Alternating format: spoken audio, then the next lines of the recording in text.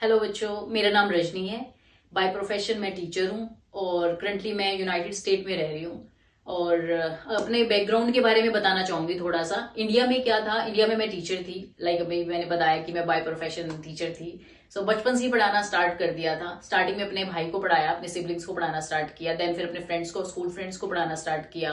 और कॉलेज में जाते जाते क्या हुआ? पार्ट टाइम ट्यूशन देने लगी सो so, पता ही नहीं चला कि कब ये मेरी हैबिट बन गई। और अगर मैं अपनी एजुकेशन बैकग्राउंड की बात करूँ तो मैंने आईआईटी क्वालिफाई किया हुआ है। 2000 रैंक था। मास्टर्स इन केमिस्ट्री की हुई है फ्रॉम एमडी यूनिवर्सिटी सो उसके बाद lot of things I did so इतना सारा करने के बाद लाइक like, नॉलेज है थोड़ी बहुत जो केमिस्ट्री की। मैं शेयर करना चाहती हूँ। मैं शेयर क्यों करना चाहती हूँ? इस वीडियो का पर्पज क्या है? क्योंकि जब आप यहाँ पे रह रहे होते हैं बाहर रहते हैं अब्रोड रहते हैं तो यहाँ पे मेरे को in person like physical like interaction नहीं है स्टूडेंट्स के साथ पढ़ाने का।